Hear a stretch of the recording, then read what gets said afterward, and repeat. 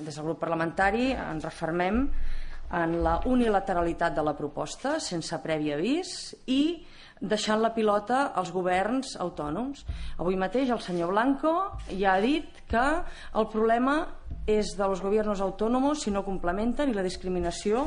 que es produirà entre ciutadanies, que el govern de l'Estat el que ha volgut és ajudar les famílies perquè comprin cotxes i convida clar, convida, eh? però ho pagues tu,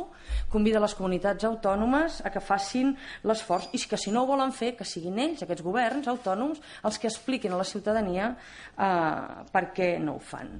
Nosaltres reiterem amb el que representa de deslleialtat institucional absoluta, d'improvisació i d'un afavoriment del que, bueno, del que en diem ja el dumping territorial, del que això representa especialment pels territoris fronterers amb el Principat de Catalunya i curiosament, eh, i així ho va dir molt clar el conseller Huguet, i nosaltres ens hi refermem, quan no tenim la liquiditat suficient i no tenim un nou sistema de finançament, ens embranquen amb, un, amb una nova qüestió. I curiosament el que els deia, el govern autònom més endeutat o dels més endeutats de tot l'Estat, que és el, el del País Valencià o de la Comunitat Valenciana, resulta que no només ha dit que donarà 500 euros, sinó que ho doblarà a 1.000 euros. Aquí cadascú té les prioritats que té.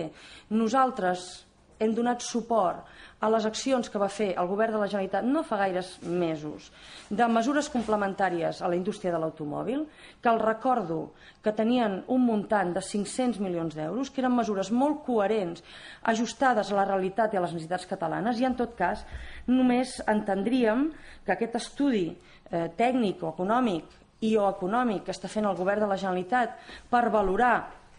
eh, la proposta doncs, de donar suport i ajuts a la compra d'automòbils es fes amb aquesta línia de complementarietat i d'acord amb la realitat catalana. Per tant, mesures complementàries a aquest pla,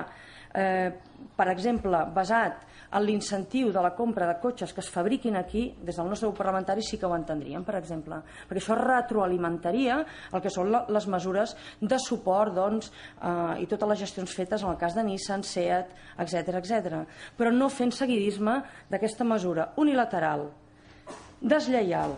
i mm, a la babalà del govern de l'Estat.